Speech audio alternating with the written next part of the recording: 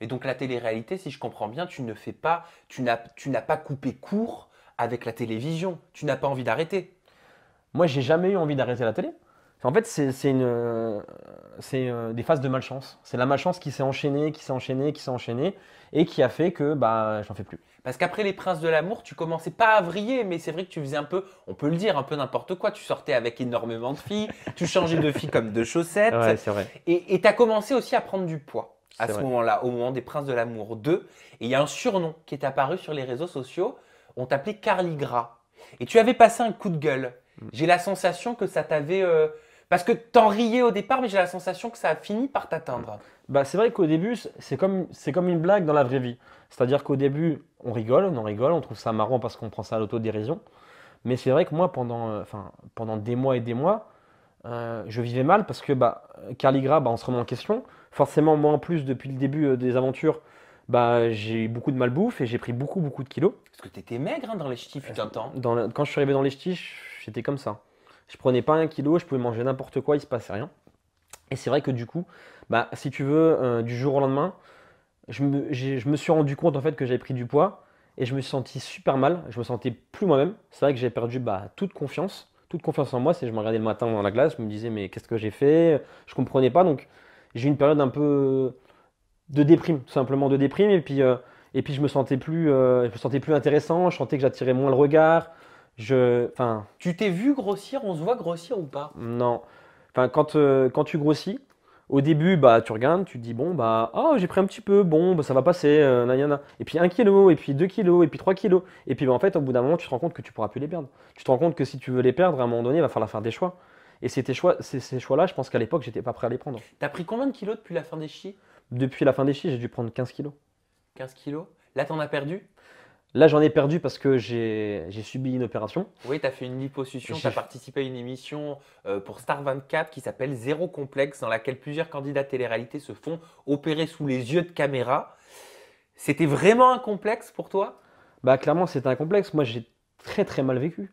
Euh, moi je sortais plus de chez moi pendant un petit moment. Je, je savais, j'étais perdu. Je, je savais plus dans quelle direction euh, me positionner. Je savais plus. euh, je, je, je, je savais plus. Je savais plus parce que après je sortais.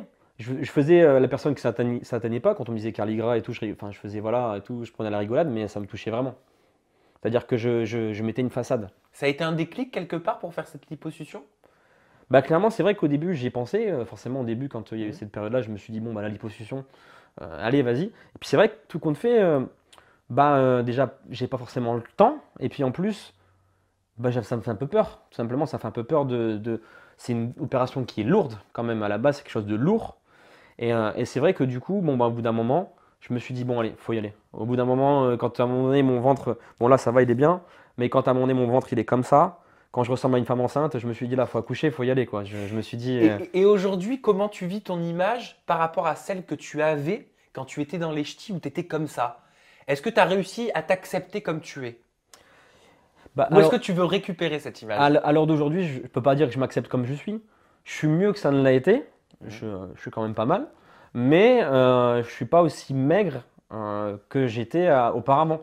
Alors moi, je pense que moi, pour que je sois parfait, il faut que je sois entre deux, parce que j'étais trop maigre et là, je suis trop, enfin, je suis encore un peu trop gros. J'ai encore un peu de bidoche à perdre. Tu as envie de perdre combien de kilos encore? Encore euh, 3 ou 4. Ouais. 3 ou 4, ouais. 3 ou 4, 3 ou 4 kilos parce que. Bah en fait, c'est même pas une histoire de kilos. C'est une histoire que j'ai pas le petit V là, comme les beaux gosses là, ils ont la télé. Ah, tu veux le petit V Je veux le petit V, Tu moi, veux je suis le petit V je- des beaux je- gosses de télé Je suis ambitieux. je suis ambitieux et puis en plus, j'ai l'impression que, que maintenant justement les, les castings de télé, si on n'a pas le petit V, on n'est pas musclé, on n'est pas super tatoué machin et tout, j'ai l'impression qu'il y a de moins en moins de personnages bah, qui sortent de cette Ouais, mais tu étiquette. penses que c'est pour ça que tu fais pas de télé non plus depuis 3 ans? Tu penses que c'est à cause de tout ça, de ton physique? Moi, je pense qu'honn- je pense qu'honnêtement, euh, le physique joue. Parce que je vois qu'il y a une mode euh, qui est arrivée depuis, euh, bah, depuis que j'ai arrêté- enfin, que j'ai arrêté la télé. Enfin, que j'étais su- Voilà. En fait, tout compte fait, j'ai calculé à peu près 4 60 80% des, des gens qui font de la télé sont beaux gosses, musclés, tatoués. Cite-moi par exemple dans les ch'tis, dans les ch'tis les Marseillais, donne-moi un mec qui est pas musclé, pas tatoué. Oh là, c'est vrai que tu me poses une colle quand même. Anthony Lyricos. Ouais, Anthony Ricos, c'est vrai. Il y en a Mais bon, un. il est resté 3 jours. Il est resté 3 jours parce qu'il Il est resté 3 jours. Il est resté trois jours, mais je veux dire, tu regardes Julien, musclé. Enfin, j'ai pas dit qu'il était pas beau. hein. Moi, je pensais euh, pas tatoué. Pas oui, machin. oui, pas dans Non, mais parce que tous les goûts sont dans la nature. Attention. Oui, mais ju- justement, j'ai l'impression que maintenant, pour faire de la télé, c'est un stéréotype. C'est-à-dire que si, si t'es pas musclé, tatoué, beau gosse, ils te prennent Bah pas. ouais, mais c'est pas, de la- c'est pas la réalité, ça. Non, et c'est pour ça que je pense qu'honnêtement, les, les, les, les- gens euh, regrettent beaucoup les ch'tis et attendent beaucoup que je revienne, moi comme des gens comme moi, comme Vincent, qui ont beaucoup marqué. Pourquoi? Parce que les gens, quand ils nous regardaient, ils, s'identifiaient à nous.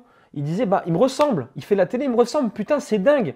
Maintenant, les gens, quand ils regardent la télé, ok, ça les fait rêver, ok, ils voient des beaux gosses, mais eux, ce qu'ils veulent voir, c'est des gens comme nous, des gens simples, des gens que, qui, qui, qui, voilà, qui peut être facteur et qui fait la télé du jour au lendemain, que, que la vie basculée.